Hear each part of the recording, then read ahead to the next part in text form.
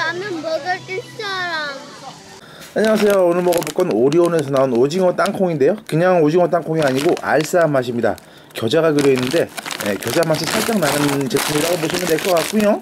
어 뭐야 와사비 맛 시즈닝이 들어, 들어가 있다고 그러고요. 음, 영양 성분을 보시면 곱하기 2 하시면 되니까 요거 하나 다 드시면 설탕이 40g 무진장 많이 들어가요.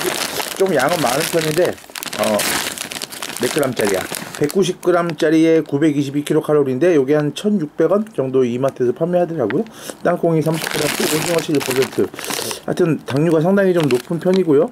단백질, 지방도 좀 높고 지방도 81%, 나트륨 42%, 나트륨이 생각보다 낮은데 이게 이렇게 다, 단 과자는 잘 모르겠는데 예, 이게 이렇게 달았나 싶은 생각이 드네요.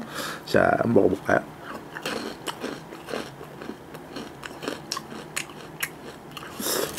저번에 먹었을 때는 좀 와사비 맛이 많이 났었는데 지금 먹어보니까 별로 그렇게 뭐 살짝 느껴지는 정도?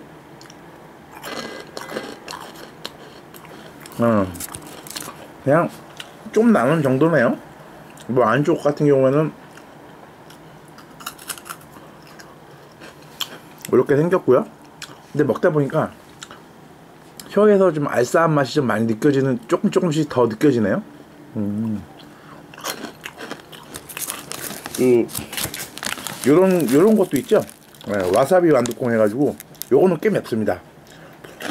근데 이 정도까지는 안 되는 것 같고요. 그냥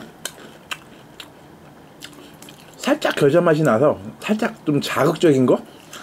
그, 그 뭐야 새우깡 중에서도 매운 새우깡 있잖아요. 그런 느낌이랑 비슷한 제품이라고 보시면 될 것 같습니다. 지금 오징어 땅콩이 좀 심심, 심심 하다고 느끼신 분들 아니면 좀 색다른 자극을 원하시는 분들 한번 드셔보시면 괜찮을 것 같은데? 뭐 그렇게까지 알싸하진 않고요. 진짜 알싸한 걸 원하시면 여기다가 겨자를 찍어서 보시면 좋을 것 같네요. 참고하셔서 괜찮은 제품 같으니까 맛있게 드셔보시고 당분은 좀 많다는 거 그거 유의하시면 좋겠습니다.